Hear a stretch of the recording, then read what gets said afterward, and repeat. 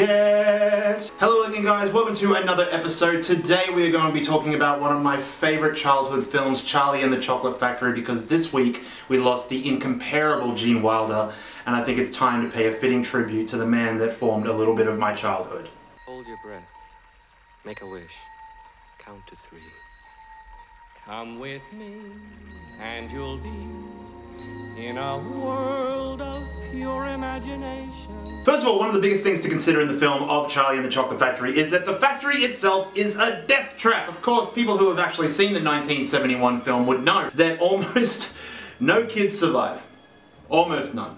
And I'm sorry, but the statute of limitations on spoiler alerts has passed, so none of this, oh my god, he spoiled Charlie and the Chocolate Factory!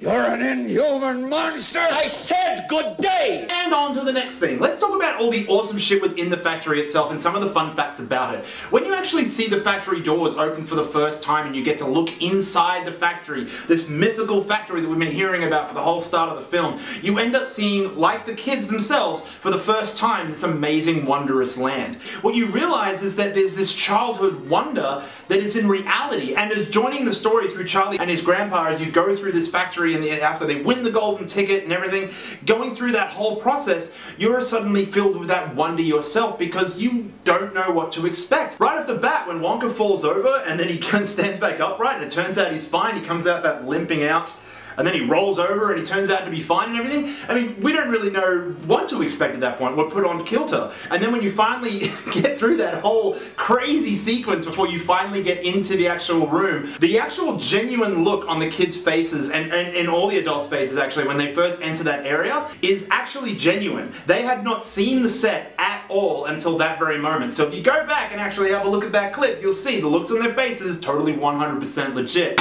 Clever. One of my favorite sequences I think that we can all have following on from that candy room they first come into is the Chocolate River where we actually get our first casualty of Augustus Gloop. Augustus, sweetheart, save some room for later.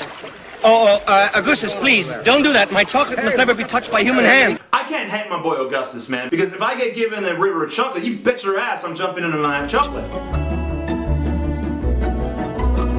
I mean, you ain't gonna say you're gonna do any better. You're gonna be jumping out on that river. My biggest thing was the boy didn't swim. I mean, he's in a fucking three-piece suit. He's looking fly as shit. Goes right into the drink. Can't pull himself out. It's a real damn shame. But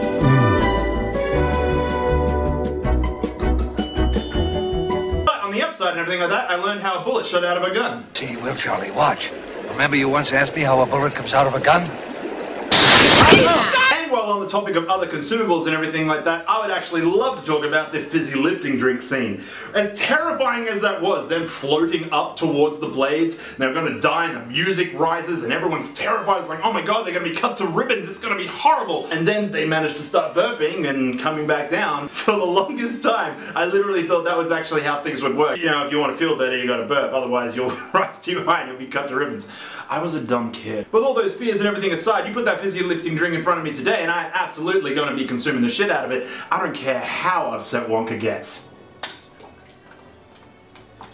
Uh, for a film about a fictional candy company that didn't ever exist, and the boy who won the golden ticket to explore it with a bunch of naughty children, it absolutely was amazing to see such a film made in its time. In fact, fun fact, the Candyman that actually exists in the shop at the start of the film that sings the Candyman can. A man by the name of Sammy Davis Jr. actually threw his hand up at one point. Quite an old person for some of you young people watching, but he was actually known by a stage name of the Candyman. Who can take a sunrise, sprinkle it with dew?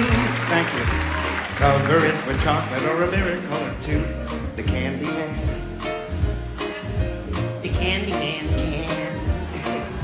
And the reason I bring it up is because with films these days, absolutely they would take a big name actor and slide him into a small slot. But the main reason they said that Sammy Davis couldn't play the part wasn't only just because it might be a bit on the nose, but also because a big name actor and performer and entertainer like Sammy Davis would actually take apart from the realism. This is back in a time when films actually considered the fact that it didn't really matter about the box office draw that much. What mattered was making a great film. Bull. No, roast beef, but I haven't got it quite right yet. Let's talk about Gene Wilder herself, the man that actually made this movie what it was. Probably more than you actually know. In fact, according to my research, there's been a few elements about Willy Wonka that I feel should actually be truly shared. Stop. Don't. Number one, Gene Wilder did not agree to actually do the film unless he was allowed to do the limp and the somersault at the start of the film. When the director asked him, hey, are you, are you really not going to do the film?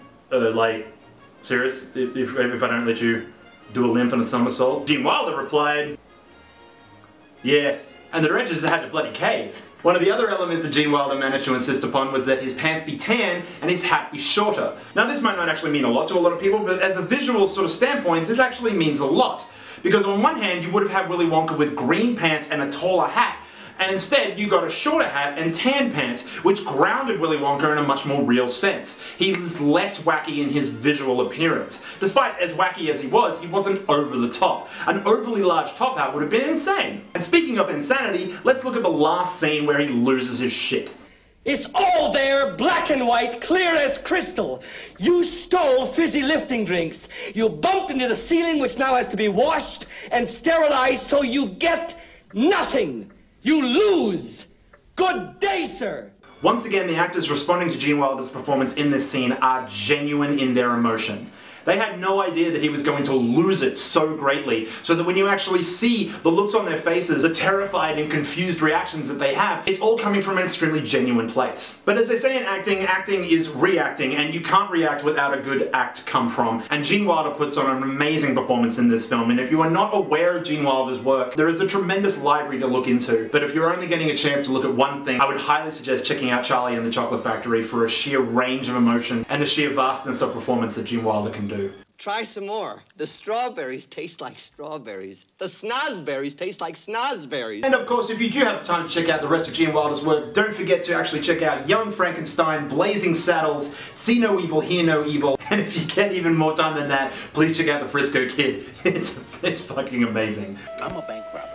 You are a rabbi. I'm not a rabbi. But in summary guys, Gene Wilder was an amazing actor and a performer who had an impact in our culture and in our life, who despite leaving acting a long time ago, continued to have a family and a real life. He brought forth characters that made us laugh and bring us joy, and gave us an escape from our weary and dreary lives, and for that we have to thank him and wish him well.